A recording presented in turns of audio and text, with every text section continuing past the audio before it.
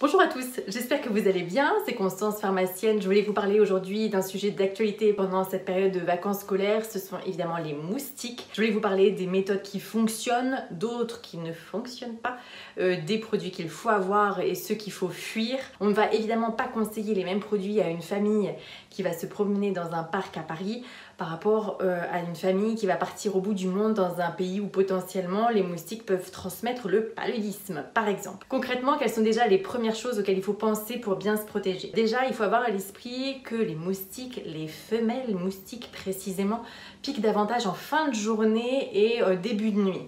Hein, vraiment quand le soleil est en train de, de baisser dans le ciel et donc c'est à ce moment-là où il faut être particulièrement vigilant. Ce que vous pouvez faire déjà en premier lieu, c'est porter des vêtements qui couvrent bien, qui ne sont pas collés à la peau mais davantage amples pour éviter que le moustique transperce le vêtement et vous pique pour euh, vous protéger donc vêtements amples et davantage plutôt clairs que foncés. Les vêtements clairs vont moins relarguer de chaleur que des vêtements Voilà pour la petite astuce. Parce que comment fonctionne un moustique? Un moustique va se baser sur davantage son odorat, des petits capteurs sensoriels qu'il va avoir. Il va euh, donc sentir notre transpiration, notre sueur, donc il va aussi ressentir notre, la chaleur que nous dégageons et enfin le dioxyde de carbone de l'air qu'on expire. On a vu les vêtements amples, mais quels sont les produits vraiment à avoir? Encore une fois, ça dépend où est-ce que vous allez. On va pas protéger de la même manière tout le monde. Globalement, si vous voulez être tranquille, méthode de folie, la moustiquaire. Alors là, c'est la grosse moustiquaire, celle pour un lit de place. Il en existe des disponibles pour des poussettes, pour des landaux, pour des lits. Celle-ci convient évidemment pour des lits une personne. Voilà, vous avez différentes tailles et euh, ça, ça vous protège quand même super bien sans vous appliquer des choses dessus. Autre chose, ce type de moustiquaire, comme toutes les moustiquaires, sont imprégnés d'insecticides. Insecticides, ça va tuer carrément le moustique. Aucune chance qu'il arrive à vous donc.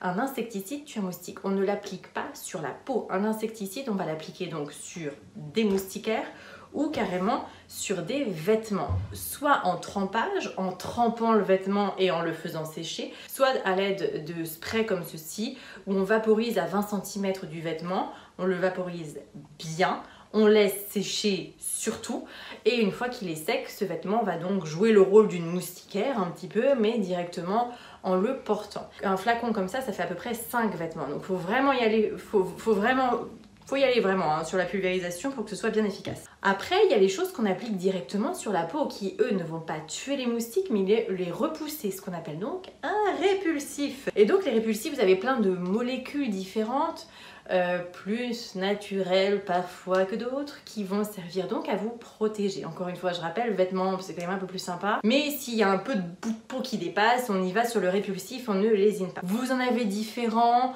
euh, qui sont plus ou moins efficaces, encore une fois aussi en fonction de leur composition, mais c'est là où il faut être particulièrement vigilant.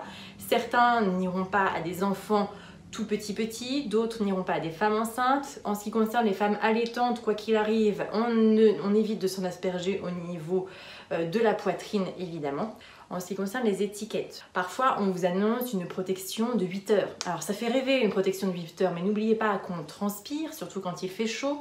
N'oubliez pas qu'on va se baigner et donc après, il faut en remettre. C'est comme la crème solaire. Et puisque nous parlons enfin de crème solaire, sachez, et c'est hyper important, que si vous appliquez une crème solaire, il faut attendre 20 minutes pour appliquer un répulsif. Pourquoi? Parce que l'indice de protection va se retrouver un peu altéré si vous appliquez un répulsif. Euh, en ce qui concerne les petits, et je terminerai dessus, donc toutes les molécules ne sont pas adaptées aux, jeunes enfants. On va surtout se mettre des barrières à 6 mois et 2 ans, donc il faudra bien lire les étiquettes à ce niveau-là. Surtout les petits, vous ne l'appliquez pas de répulsif sur les doigts. Pourquoi pas sur les doigts Eh bien parce qu'ils mettent toutes leurs mains à la bouche et on va quand même essayer d'éviter de leur faire boulotter du répulsif moustique. Donc vous avez plein de molécules différentes, plein d'actifs différents qui ont tous été testés. Vous avez le DET, l'icaridine, l'IR3535.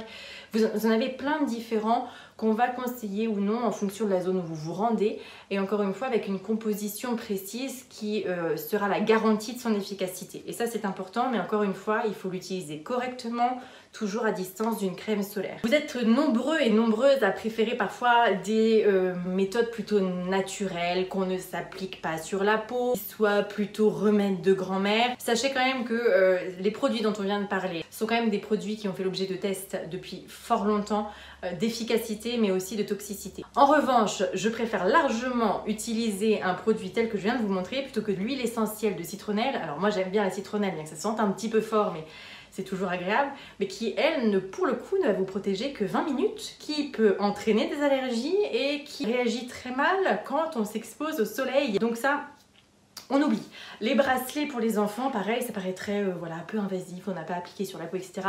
Faut pas se leurrer, vous avez un bracelet là, votre maman va se faire piquer sur les jambes, c'est du vécu, je pense que tout le monde l'a connu, mais voilà, si ça peut vous rassurer et rassurer votre enfant, c'est très bien, mais n'attendez pas des résultats spectaculaires non plus euh, si vous traversez des marécages blindés de moustiques. Enfin, les bougies, les spirales, les choses comme ça peuvent fonctionner mais il faut vraiment être très proche. Seuls ceux qui seront vraiment à côté seront protégés, encore une fois, il faut le dire.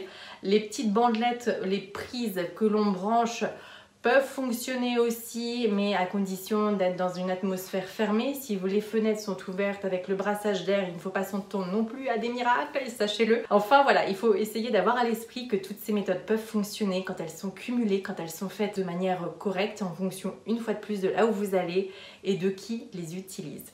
Enfin, les lampes, les ultrasons, les méthodes un peu farfelues qui existent n'ont encore aujourd'hui pas tellement prouvé leur efficacité. Et enfin, les pièges à moustiques qui peuvent parfois euh, bien fonctionner, hein, pourquoi pas, mais sachez qu'en fait les pièges à moustiques vont attirer le moustique. Et qu'un moustique n'est quand même pas totalement crétin, il va préférer un humain à quelque chose qui ressemble à un humain mais qui est davantage une machine. Donc euh, évitez de mettre les pièges à moustiques à côté de la table où vous dînez le soir puisque là très concrètement vous allez juste appâter encore un tout petit peu plus euh, la dame moustique qui est très assoiffée. Certains moustiques peuvent transmettre des maladies. Euh, j'entends par là les moustiques qui transmettent le paludisme dans certains pays. Alors je sais que vous avez forcément entendu parler du moustique tigre qui se fait sa grande apparition en France.